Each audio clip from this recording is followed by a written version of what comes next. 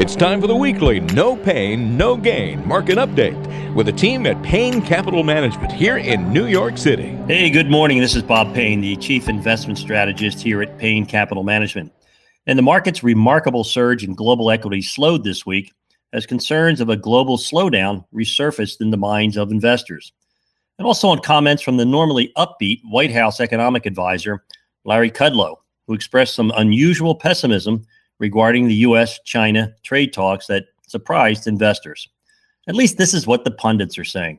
See, I believe the news doesn't make the market, it's the market that makes the news. And historically, after a significant January rally, stocks tend to correct or reverse course in the following February. Now, speaking of January, we hit the January indicator trifecta. We are three for three.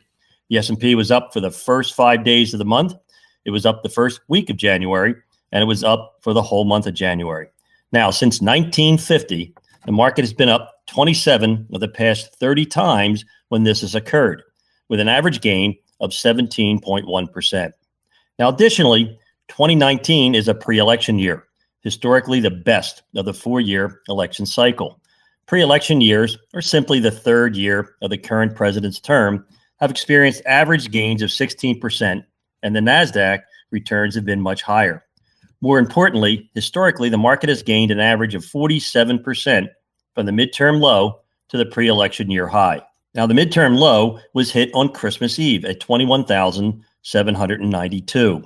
So a 47% gain from there equates to 32,000 on the Dow Jones Industrial Average.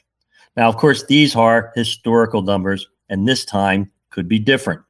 But as famous investor Sir John Templeton once said, the four most dangerous words in investing is it's different this time. Now, if you're sitting here wondering, do I have a portfolio that's appropriate to my risk tolerance? Do I have a portfolio that's benefiting from this big booming bull market?